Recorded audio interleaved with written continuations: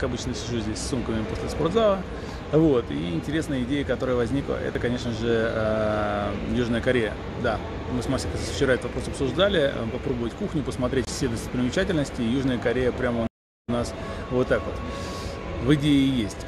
А, Гонконг идея тоже мне понравилась, я там не был, и Гонконг это прямо очень интересный город, как бы так, своя страна в стране, то есть это китайская территория, но прямо вот она очень-очень отличается от самого Китая. Идея такая есть.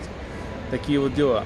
Еще очень много предложений, не все еще комментарии прочитал, но, собственно, так. Теперь будем в смысле составлять график, и когда точно полностью составим график своих путешествий, будем искать уже подписчиков в этих городах, в этих странах и узнавать, что интересное можно посмотреть. Может быть, нас там кто-то встретит и будет интересно показать, сделать экскурсию не только для нас, но и для всех подписчиков наших страничек. Вот такие у нас идеи.